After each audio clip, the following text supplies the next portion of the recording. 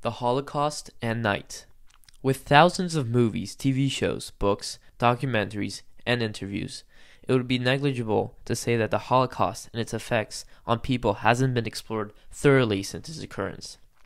Yet, with every coming generation, and with the amount of living survivors decreasing rapidly, these days the narrative and significance behind the Holocaust can be lost in translation.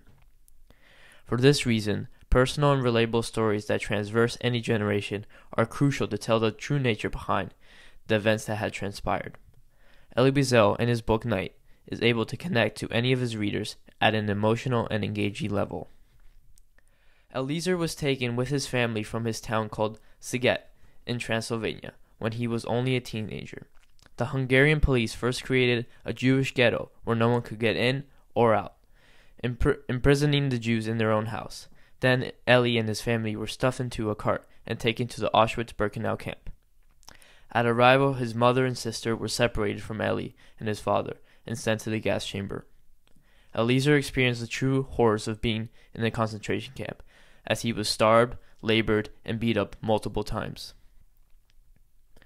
Elie recounts his struggles with God and maintaining his Jewish faith as he felt as though there was no hope.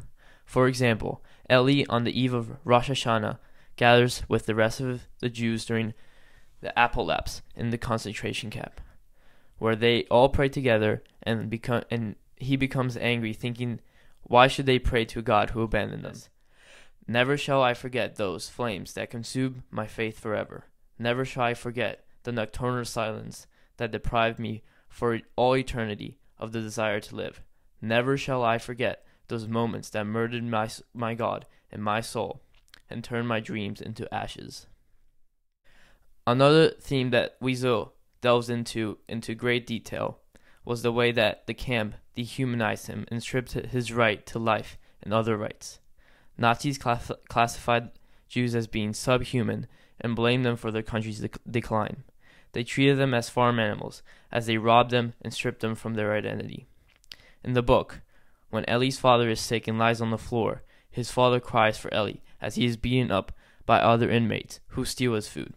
The inmates say that he smelled bad. Moreover, when they were moved from one camp to another to escape the front of the Russians, they would pass German towns while passing in carts, and people would throw pieces of bread into the carts. With this, the people would be amused as the prisoners fought and killed each other for the bread.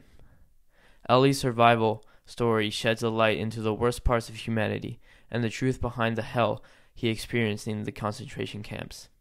His book stands as a staple for human rights and why it is important to learn and recognize the crimes of the Holocaust. Elie used his anguish and unbearable pain to send a mes- message to the world.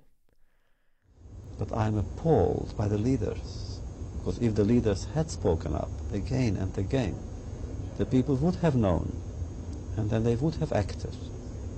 So why the silence? Why the complicity? I don't know. The genocides like the Holocaust should never occur again, since they regress the progress that humanity has made. Such topics ought to be studied and delved into for the sake of achieving world peace.